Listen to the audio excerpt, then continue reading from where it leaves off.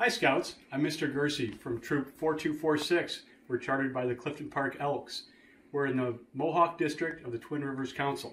Tonight I'm going to show you how to make a foil meal that's one of our favorites that involves hamburger, potatoes sliced, carrots sliced, onion sliced, and these are, are sliced somewhat thin so they cook.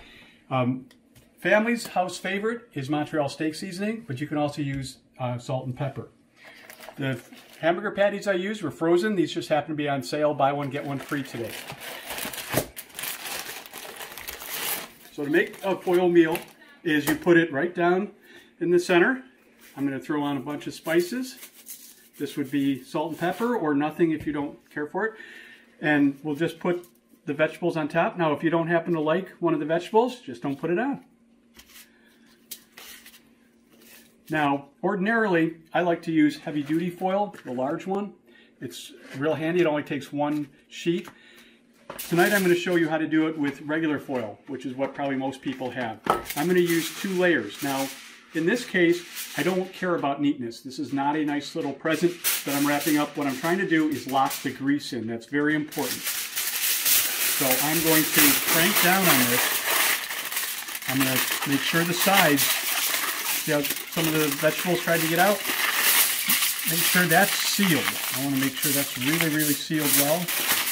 Same on this side.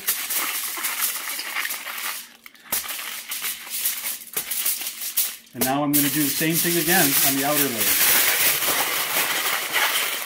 If the grease gets out, of course, that'll start a fire. Uh, you can also somehow try to mark yours so you can find it from somebody else's. Maybe that's a way to mark mine. We've also done chicken. Uh, chicken is, you want to make sure if you're using raw chicken that you cook it well, but you don't overcook it. So when we do chicken, what we'll do is we'll buy the pre-cooked chicken breasts. And that way you can just, you already know the chicken's cooked.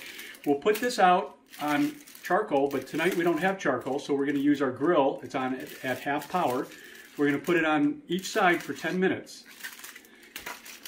Here's one we just took off our barbecue. Open it up, and you can eat it right out of the tin foil to leave no trace. Enjoy, Scouts.